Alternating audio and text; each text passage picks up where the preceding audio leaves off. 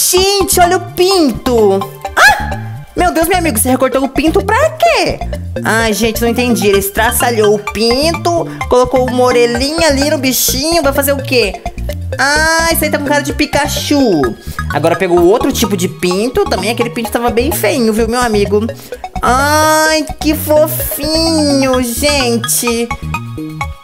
Nossa, que legal, ele tá fazendo um pinto de Pikachu. Na verdade, o Pikachu de pinto. Lindo.